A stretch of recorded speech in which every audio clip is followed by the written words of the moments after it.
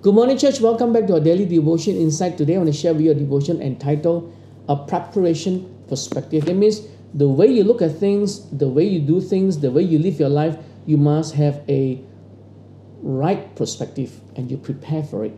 Second Corinthians 5 verses 9 to 10 says, Paul writes, So we make it our goal to please him, that is Jesus Christ, whether we are at home in the body or away from him.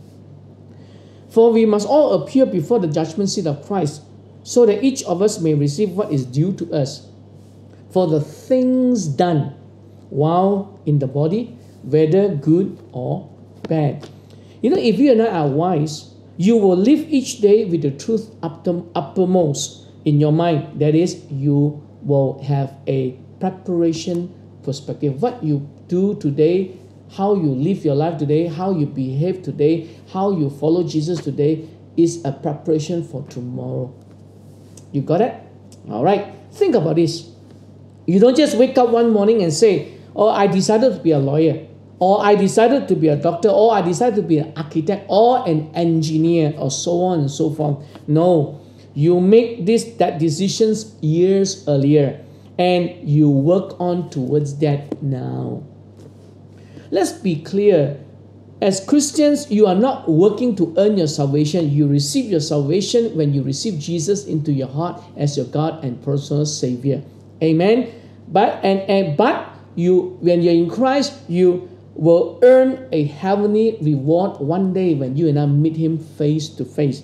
And salvation is the foundation that you build on. Because you have Christ Jesus in your life, you have the foundation. You build your life for tomorrow that God will reward you and I. Amen. And the Bible says, For no one can lay any foundation other than the one we already have or laid. That is Jesus Christ. Paul, then Paul also goes on to say, in 1 Corinthians chapter 3, verses 12 to 15, he says, Anyone who builds on that foundation may use a variety of materials gold, silver, jewel, wood, hay, or straw. But on the judgment day, the fire will reveal what kind of work each builder has done. The fire will show if a person's work has any value if the work survives, the builder will receive a reward. But if the work is burned up, the builder will suffer great loss. So the builder will be saved, but the, the, like someone barely escaped through a wall of flames of fire. When you stand before God, or when I stand before God, we have two options rewards, rewards ready for you and I, or regrets rewards waiting for you and I or regrets. Or we hear from Jesus Christ, well done, good and faithful servant, enter into my joy. Or depart from me, for I know you not. So, best to have a preparation perspective now.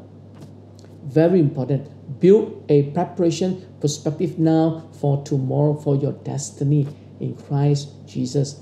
Amen. You get it? Let's pray. Father, we pray that you help us to have a preparation uh, perspective for tomorrow. One day when I see Christ or when we see Christ, we ask you to bless this day as we commit ourselves to you. In Jesus' name we pray. Amen. God bless you and you have a great day.